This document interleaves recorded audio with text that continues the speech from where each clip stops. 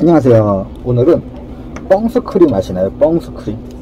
뻥스크림을 응용한 쌀스크림.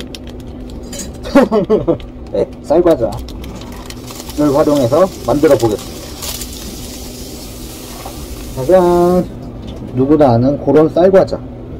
누구나 아시나?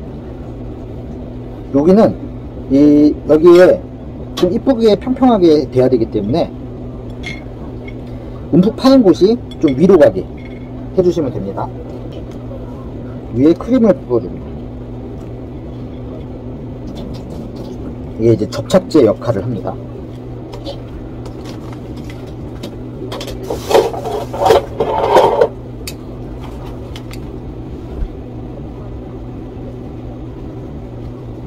그리고 아이스크림 한 스쿱 올려주시고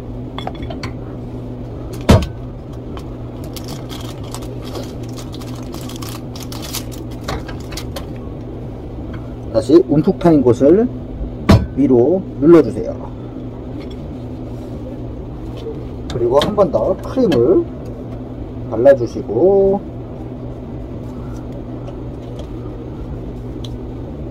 여기 이제 뭐 초코나 뭐 그래놀라 뭐 기타 등등 좀 드시고 싶은 대로 올리셔도 좋은데 이제 여기에는 메이플 시럽을 조금 뿌려줍니다.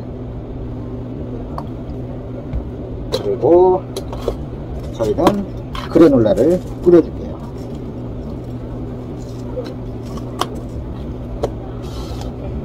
그리고 다시 쌀과자를 움푹 파인 곳을 올려줍니다. 그리고 다시 올려주시고 위에 간단하게 뭐 체리 같은 거 딸기, 체리 이런 거 올려주시면 완성되었습니다. 간단하게 또 보았어요. 정말 쉽죠? 먹어볼래? 네. 맛있겠다. 짠. 잘 먹겠습니다. 어, 이거 우유, 우유, 어, 우유. 잘 먹겠습니다. 얼굴 화장 안 했는데. 어, 화장 안 해도 괜찮아요. 잠깐만.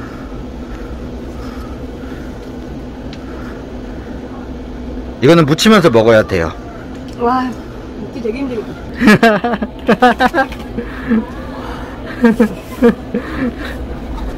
맛은 어떻죠? 음, 맛있어요. 남자친구랑 같이 먹고 싶어요. 네, 같이 먹으면 안 되는 디저트입니다.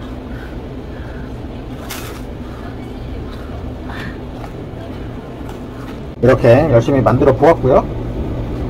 네, 간단하게 이제 시중에서 판매되는 쌀땡 과자로 뭐, 아, 똑같은 말인가? 쌀과자나 쌀땡으로 시중에서 판매되는 과자들로 간단하게 했습니다. 이게 벌크로도 팔고 그래요. 1kg 단위로도 팔고 그러면 지금 한 100개 막 가까이 많이 들어있어요.